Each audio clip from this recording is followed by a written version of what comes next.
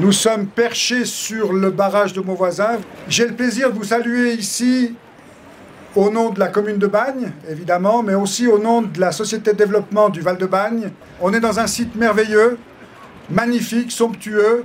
Glacier du Gietro, il a un petit peu diminué depuis euh, 200 ans, mais on est sur le site où, il y a 200 ans, il y a eu un événement malheureux.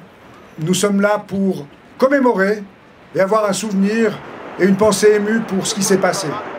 L'avenir de Bagne, avec son directeur Christophe Jean Bourquin, qui va nous interpréter. Bombardier Christophe à la baguette. Merci.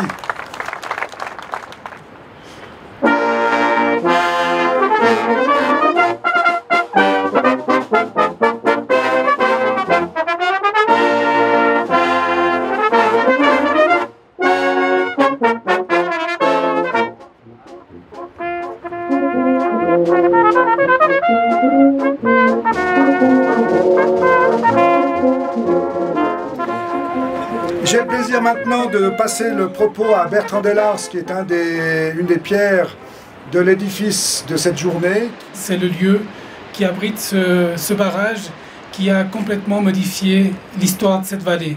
Et aujourd'hui, si on est là, c'est bien sûr lié à la commémoration pour la débâcle du, du.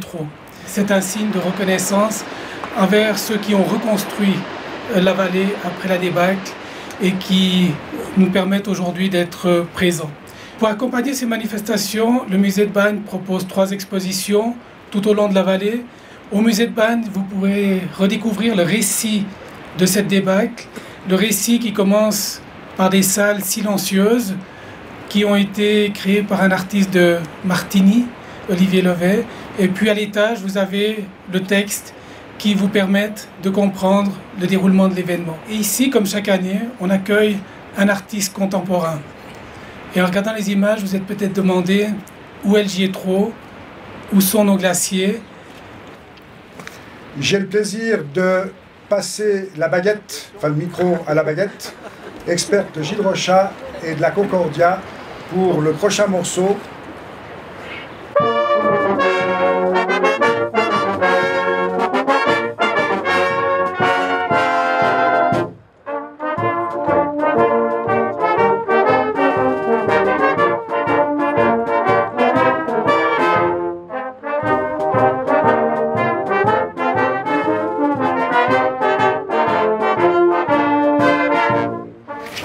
Monsieur le conseiller d'État, monsieur le préfet, mesdames et messieurs les invités, soyez salués en vos titres et fonctions.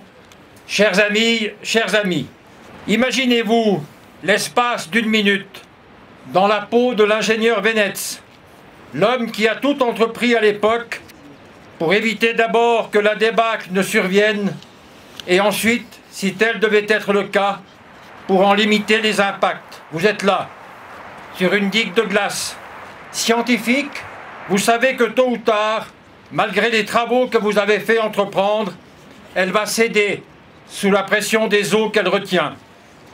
Vous savez surtout que de vos décisions vont dépendre la vie des habitants de la vallée.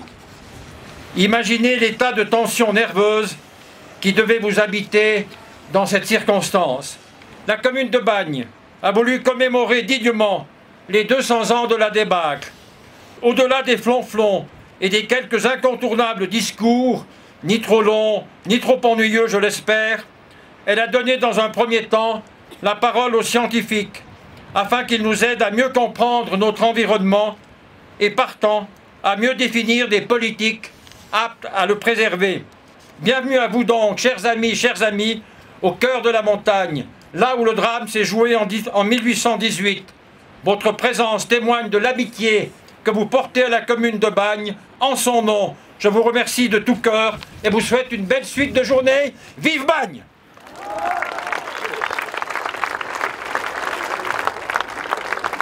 Ils vont nous interpréter un morceau d'ensemble qui n'est autre que Marignan, donc la fibre valaisanne va vibrer bien sûr.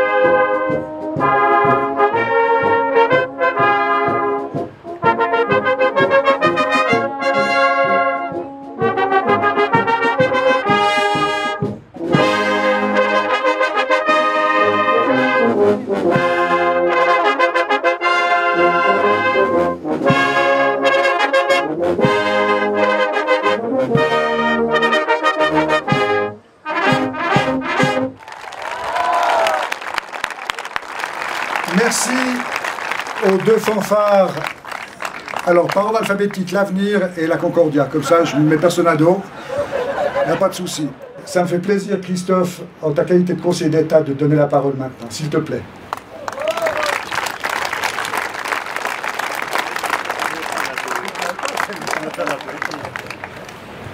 Monsieur le président de la commune, monsieur le préfet, cher Patrick qui devrait faire de la politique, j'aimerais d'abord vous dire, au nom du Conseil d'État, la reconnaissance, le respect et aussi l'émotion.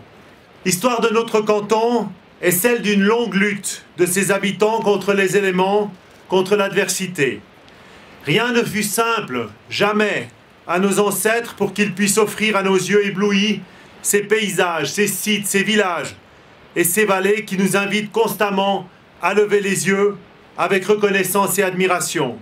La nature est belle, certes, en ces terres, mais elle exige de ceux qui veulent y vivre qu'ils soient à la fois humbles face à ce qui les dépasse et audacieux face à ce qui les défie. En ce lieu majestueux de cette haute et magnifique vallée de Bagne couronnée par le barrage de Mauvoisin, ce splendide panorama, ces montagnes, cet instant solennel d'une histoire vraie qui s'est déroulée voici 200 ans. Nous devons rendre hommage à plusieurs ancêtres pour leur courage exemplaire qui évita la catastrophe. En premier lieu, le canton n'avait que trois ans, en 1818. Le tout premier ingénieur cantonal, vous l'avez cité, Ignace Venetz, au Valaisan. L'agriculteur et conseiller communal Jean-Pierre Perraudin et Jean Charpentier, directeur des mines de sel de baie, pour ne citer qu'eux, qui ont fait preuve d'un sens aigu de l'observation. Ils surdéveloppaient des outils basés sur l'observation pour prévoir ce que nous essayons encore aujourd'hui de faire, des catastrophes et se prémunir contre les risques naturels. Je saisis cette occasion pour remercier tous ceux qui ont participé à ces jours de commémoration. Grâce à vous, cette commémoration nous permet à nous politiques de tirer en toute lucidité de précieux enseignements. Parce que nous dit la catastrophe du Gétro, nous dit aussi beaucoup de choses sur aujourd'hui, sur tous ceux qui veillent sur la sécurité de nos montagnes, de nos vallées, tous ceux qui essayent de prévoir. Nous avons investi beaucoup contre les dangers naturels dans ce canton, mais nous sommes et nous serons jamais à l'abri. Merci pour eux, toute notre reconnaissance, c'est aussi un peu cela, l'héritage du Gétro. Merci à tous et belle commémoration.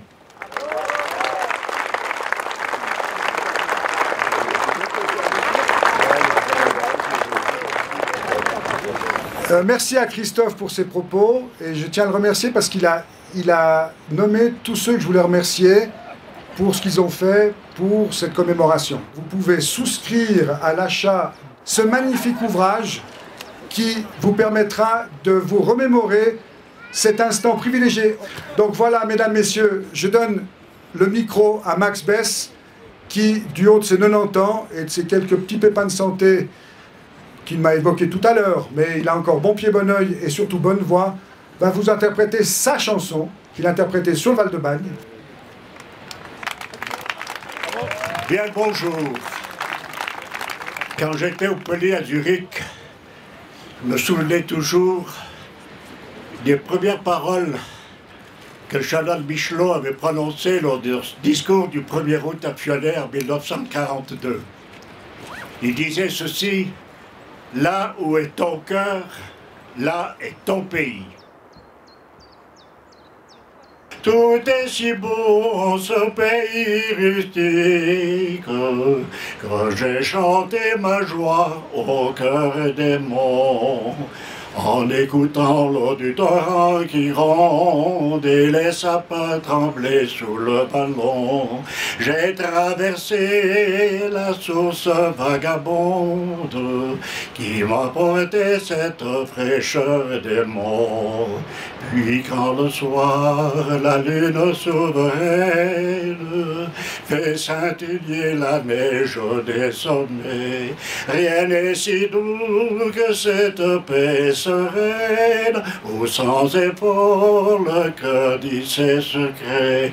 On rêve d'or d'une tendre campagne, fleurs que l'on cueille au sein de nos vallons. Pour toi toujours, mon beau pays de bagne, je chanterai ma joie au cœur des monts. Rallye, oh, rallye, oh, oh, rallye, oh.